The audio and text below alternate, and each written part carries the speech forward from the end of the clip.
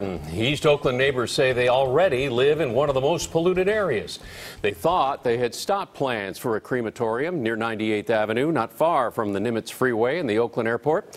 But the business suddenly opened a few months ago. KPIX5's Da Lin is at that crematorium with the backlash, and it's more than just health concerns, right, Da?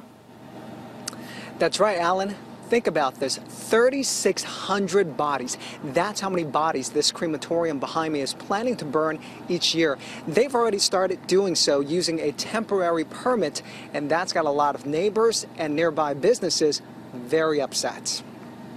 There's no signage or business name in front of the building. You would never know this is a crematorium.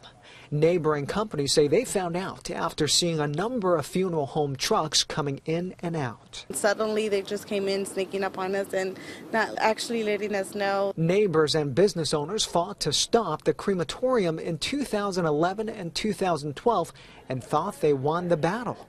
But over the summer, the Neptune Society started burning bodies after getting a temporary permit from the Bay Area Air Quality Management District.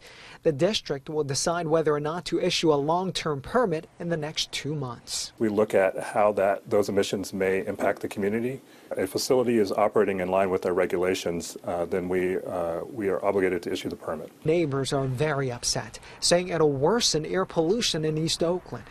The crematorium wants to burn up to 3,600 bodies a year. This is the Walmart of crematoriums.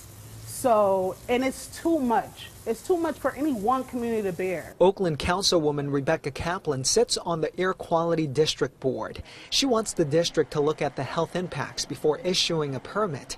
She gave us this graphic. The crematorium is here.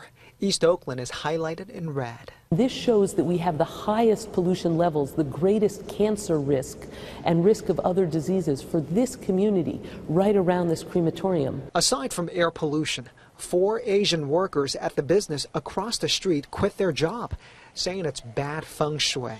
In areas that are affluent, in areas that are um, there where there's more white residents, this would never happen the air quality district actually puts the blame on the city of Oakland. That's because even though the city council voted down the crematorium, the planning department actually gave a land use permit to the company before that vote. And a judge says the council cannot backtrack. By the way, the workers inside did not want to talk on camera.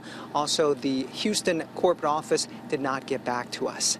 Live in East Oakland, I'm Da Lin, KPIX 5.